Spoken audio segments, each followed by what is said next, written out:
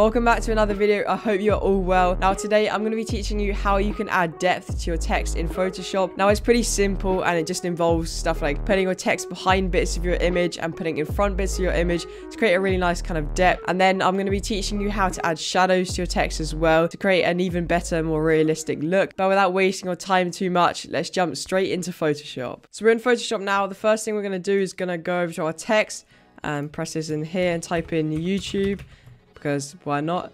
Uh, and then we're going to grab our little move tool and we're going to place the YouTube text in the right place. So you find out where you want to have it. I'm just going to have it around here. Alright, so I've got my text where I want it now. So now I'm going to grab the opacity and drop this down to about 15% or something around there. And that'll be good. And then we're going to add our layer mask on here going to come over to the brush tool uh, and then we're just going to zoom in on our text and go over to our first letter. Now what we want to be doing is we want to be looking out for the leaves that appear higher than the rest of the leaves. So you can see in this case with the Y, the leaf right here is higher than this leaf, this leaf, any of the leaves around here that are touching this. So this leaf is the highest, so we want to make sure the text is underneath that so it creates more of a realistic effect. And we'll just remove the Y here. Now moving on to the O, you can see this bit of the leaf here is higher than this leaf and this leaf. So again, we'll just mask this out.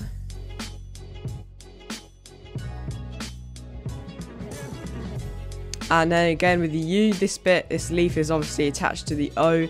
So we're also going to take this away.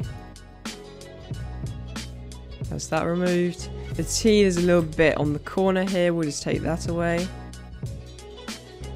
And the U is a little bit here, overlapping. And you can see here I went a tiny bit over the edge. I'll just exaggerate it for an example. So then we're just going to go back to our white on the top and then we can just paint this back in like it's brand new again and have another shot at it. So that's the U part done. Come along to our B and there's a little bit on the edge here. Let's take that away. Maybe too much, so I'll take it back and I'll do it again. Okay, and then come over to our E. And then finally, I think as the leaf curves down into the, goes lower, I'll just mask out the top bit of the E here. Okay, so I've masked everything out and I'm happy with that. So we're just to zoom out for a sec.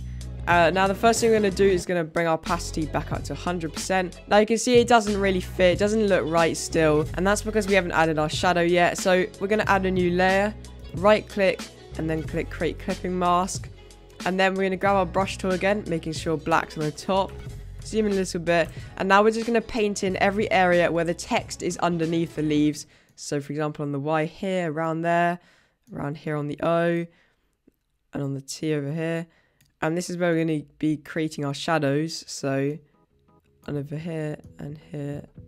So, I think that's everywhere. Mask. Oh no, this bit here. And that is everything masked now. So every black bit is where our shadow is going to be and where the leaves are on top of the letters. And now we're just going to click filter, blur, Gaussian blur. And it's at 21.9. We'll click OK. And you can now see that that has blurred the shadows has now created a really realistic effect where the, the leaves are casting the shadows on the text. I think it looks really good and turned out really well. So that is everything in Photoshop. I think it looks really realistic now. Obviously, you're going to have to change it the way that your image is and change the text and what you mask out and how your shadows are. But I think this looks really good for now. So we're done in Photoshop. So that is it for today's video. Make sure to send me a message if there was anything you didn't understand or you just want me to clarify something. And also make sure to leave a like and subscribe so you never miss videos like this in the future. Hopefully you now understand how to add depth to your text in Photoshop and it, to be honest it's fairly easy. Just remember that if there's anything high, so in my case the leaves were high, so then you have to mask the text underneath the leaves and you're all good to go. Then just make sure to add shadows and I think it looks really nice. But anyway, hopefully you enjoyed today's video and I'll catch you in the next one. Peace.